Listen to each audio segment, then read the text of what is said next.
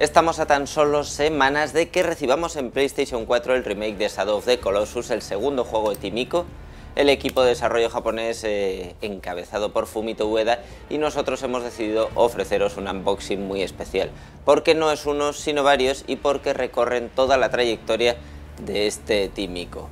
Hace unos eh, meses, hace ya casi un año, que os enseñamos el unboxing de la edición de prensa de The Last Guardian que podéis encontrar en hobbyconsolas.com y ahora tenemos el resto. Y si me acompañáis, pues os vamos a mostrar las ediciones europeas y japonesas del Shadow of the Colossus original, además de los kits de prensa, eh, las versiones de ICO y por supuesto el kit de prensa de Shadow of the Colossus, el remake.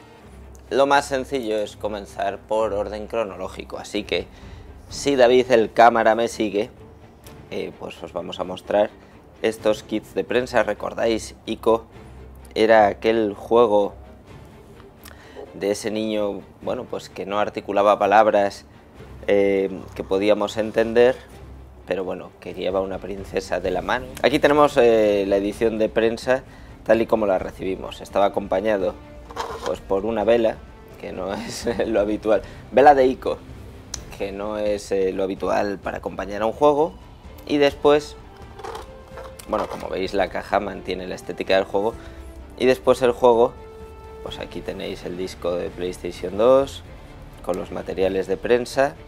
Tiene dos aberturas porque en una tiene el juego y en otra los materiales y venía en una caja de cartón. Cuando después se lanzó la edición especial ya a la venta, esta edición recordad que es solo para prensa, no se podía vender. Cuando después se lanzó la edición especial ya a la venta, que es esta que tengo en las manos, eh, bueno, pues la compañía, Sony, era muy consciente de que este era un juego especial y lo acompañó, pues eh, como veis, de una presentación muy especial. La caja es de cartón, este es el arte europeo y aquí tenemos el formato en el que recibimos ICO en PlayStation 2. Bueno, el, el juego, como veis, no tiene nada, pero este era un tiempo en el que teníamos manuales de instrucciones, un manual muy cuidado, con ilustraciones en blanco y negro, que también recrea un poco la estética del juego. Recordad que nuestros enemigos eran esas sombras. Y además de este manual incluía una serie de postales con el arte del juego.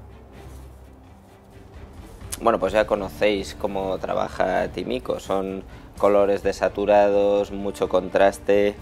Son personajes que no están definidos del todo y sobre todo jugar con esos contraluces.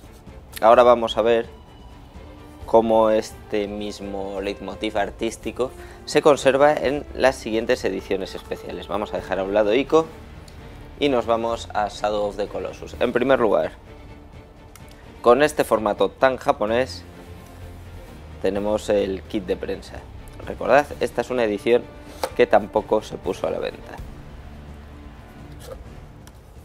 Lo abrimos con mucho cuidado y de nuevo pues eh, vemos que se hacía hincapié en el elemento artístico del juego. Aquí tenemos una serie de postales eh, publicitarias del resto de juegos de PlayStation dos que estaban saliendo en aquel momento y ahora vamos con los materiales del juego que vienen en dos sobres iguales que la propia caja. Bueno, recordáis esos, y si no los vais a conocer ahora en el remake, esos escenarios eh, casi desérticos y, vacíos y un poco desoladores, pues aquí los tenéis en Shadow of Colossus. Bueno, eh, materiales de prensa. Este es un disco donde se incluyen pantallas y, textos sobre, con información sobre el juego. Y aquí tenemos el disco de demostración. Más curioso aún es echar un vistazo a las dos ediciones que sí se pusieron a la venta de Shadow of the Colossus. Aquí tenéis edición europea, de nuevo en caja de cartón. Ahora veremos que es una edición muy similar a la que tuvimos de ICO y la edición japonesa. Voy a empezar con la edición japonesa porque sobre todo llama la atención, aparte de que el arte de portada quizás es más minimalista, llama la atención este manual de instrucciones en el que, ojo, no pone Shadow of the Colossus, sino Shadow and the Colossus. Recordad que este juego hubo un momento que también se iba a llamar Wanda and the Colossus y que llama la atención porque no solo tiene las imágenes de arte del juego, sino que incluye estas páginas en un tamaño diferente. Pues como veis, englobado dentro de cada arte, a su vez se incluyen las instrucciones en las que como está en japonés pues no sabemos lo que pone. Bueno, aquí tenemos eh, los diferentes colosos y después el sistema de controles del juego y unas muestras de arte. Continuamos viendo cómo eso se trasladó a la edición europea. ¿Recordáis la de ICO? Pues estamos ante un formato muy similar. Caja de cartón, el arte es diferente, pero la verdad es que también respetan mucho la estética del juego.